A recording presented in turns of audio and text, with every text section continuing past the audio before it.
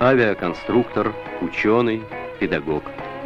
Деятельность Виктора Федоровича Болховитинова – замечательная страница в истории советской и мировой авиации. Он создавал пассажирские самолеты. Еще в 30-е годы Болховитинов возглавляет разработки дальнего бомбардировщика.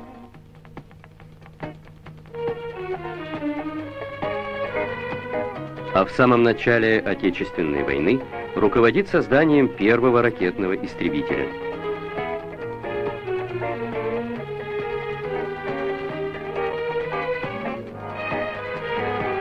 Но многие ли знают, что родился Виктор Федорович в Саратове, вот в этом домике на Новоузенской улице.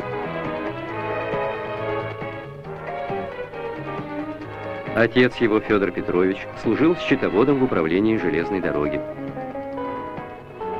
Мать Анна Степановна была акушеркой.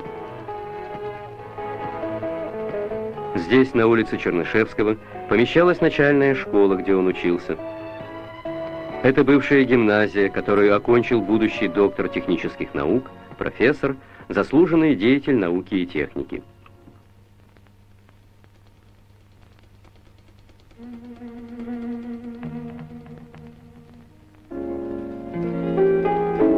Теперь здесь открыта мемориальная доска.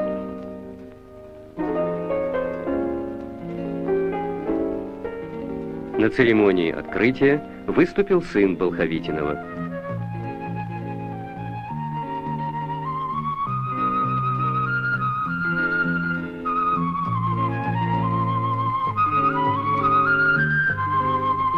Живут в Саратове друзья и одноклассники авиаконструктора.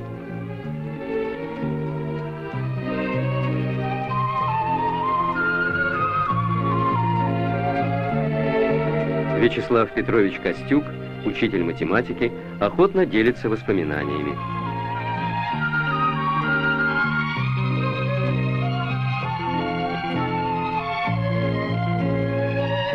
Глухим провинциальным городом был в те времена Саратов, но вспыхивали в нем искры разума, таланта, дерзких мечтаний –